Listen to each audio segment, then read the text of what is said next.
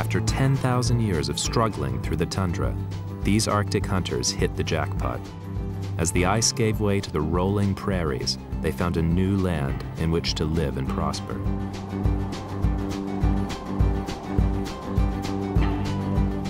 Their numbers swelled, and in only 800 years they had peopled both North and South America. I'm off to meet an ancient tribe who trace their family line back to Siberia, to the ancestors of the Chukchi who made that first migration into the Americas. They're the Navajo, and they live here in Canyon de Chelly, Arizona. The Navajo Indians have been living in North America ever since their Chukchi ancestors first arrived. Canyon de Chelly is one of their most sacred sites.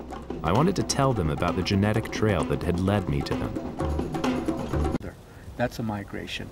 If we believe that we were created here in the Four Sacred Mountain area, this is where we came up from the ground. In other words, we were birthed into this place, just like we are all birthed by our mother. I also have my own sense of what that story might be using science. I'm a geneticist. And everybody around the world is very closely related to each other. Uh-huh. We're all part of one big family. In fact, we're all related to people who lived in Africa as recently as 50,000 years ago. That's only about 2,000 generations. Mm.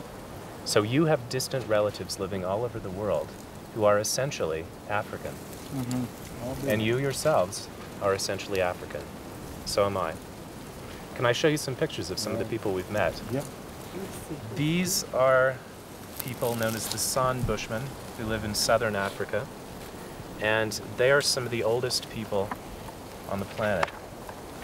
Are these the people that have that, that, that, that click clicking language. sound? Exactly. Yeah, Yeah, okay. Exactly. Fascinating people.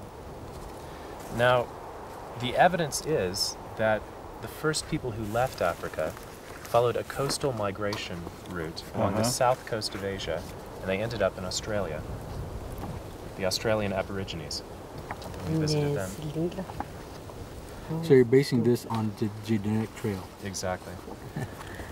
Now, these people who were in Australia, they mainly were more together as a, a group, you know, like More cohesive. more cohesive and uh, There are lots of different populations in Australia, speaking Uh-huh. very different languages. They have different cultures, different myths. Why do you call something that uh, a people will tell you a myth, as opposed to an experience that they had and they relive it over and over, rather than calling it a myth, would be able to ta- call it something else? Because I, I have a real strong feeling Yeah. about that.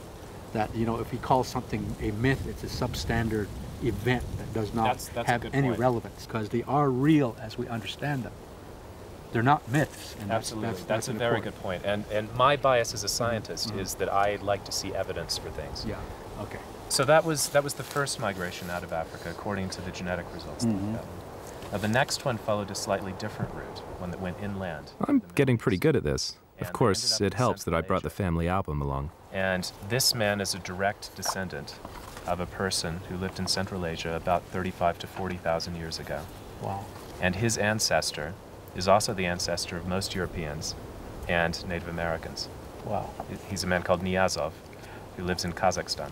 Are you the same person that uh, did some research I noticed on the internet that says that the Native American people are somehow connected to Yes. Central Europe, Yes, Central Asia. Central Asia? Yeah, that, that was Wow. a paper that we published last year. Okay. That's good to know. What do you think of that? I, uh, I, I, you know, there's, and I was looking at a book from people from Central Asia, and I saw my cousin Emmett and Abraham, Auntie, Auntie Grandma Buggy, and I said, my God, I got family over there in Central Asia. These were the like Mongolian this. people. yeah. Yeah, Uh-huh. Central Asians. Yep. Oh, yeah. That's it right there. Mhm. In the eye, he looks like Oriental, and then he's got uh, Negro features to some extent, and also um, uh, Caucasian, kind of all mixed together. So that's interesting, very interesting. These are the Chukchi people, and they're your They're distant cousins. Siberia. They're still living in northeastern Siberia.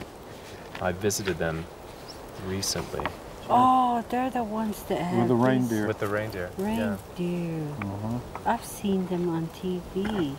Their home is They're they're. Yeah, the home little looks like a looking. teepee. And the results show that they are your ancestors. They ultimately made that trip across the Bering Strait into the Americas. Wow. About how tall were these guys here? Um, about five eight, five, Five six, eight. five eight. Yeah, About not too tall. Yeah. uh-huh.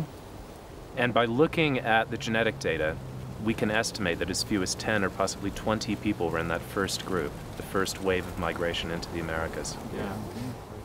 My story about the journey of man came as no surprise to these Navajo. The idea of migration had been central to their own creation story since the beginning of time.